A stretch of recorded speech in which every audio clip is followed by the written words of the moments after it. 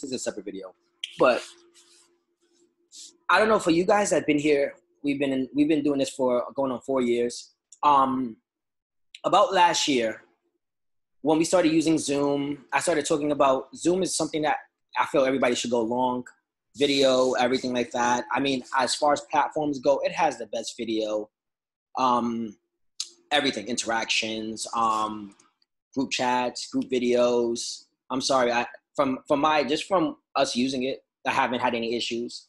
No issues with you guys. If sound was an issue, it was because I was mobile.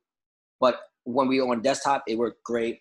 But again, people are shorting the crap out of this. The the stupidest thing is the fact that why short something that is very hot right now?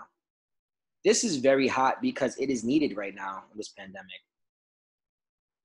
ZM trades amazing. It trades off of every single level, fib extensions, fib retracements, 1430 SMA. We're above the 14 and 30 right now in the daily. Daily is strong.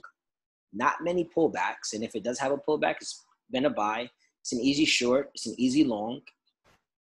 We like easy. Easier trades are the best. Easy trades are considered scalp trades to me, not swing trades. You can do actually easy trades are scalp and swing trades in one. You can scalp the crap out of it by day while um, holding a long or short position. Target 650. I can see ZM above 650 by end of year. I don't see why not. I mean, everything is there. This is an H4. They got the two day. I mean, it's extended. I get it. It's extended, but come on. My thing is, they need to get bought out by Google. Or what they should do is Zoom homeroom. You got Google Classroom, you got Google whatever, Zoom homeroom. That'll get that the stock up like fifty to sixty dollars in a day, or a bigger company buy them out. But right now, I feel like they shouldn't even get bought out right now. I mean, it's early. I mean, they've been out for a while, regardless. But I mean, this thing is is gorgeous. Honestly, we got. I don't know why we didn't do leaps last year when we spoke about it, and I still have the video. I still have the freaking video of us talking about Zoom. And Fanny remembers we had that. We all had that late night, and we spoke about Zoom. And this is when Zoom was. What was Zoom? Hold on. Zoom was what? Yeah, it definitely was under 150 at the time. It definitely was under 150.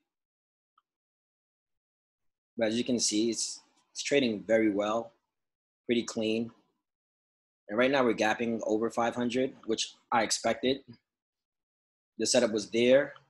This is the H3 inside close for a nice big move today. Might see 523.50, all time high by tomorrow. Let's see what happens.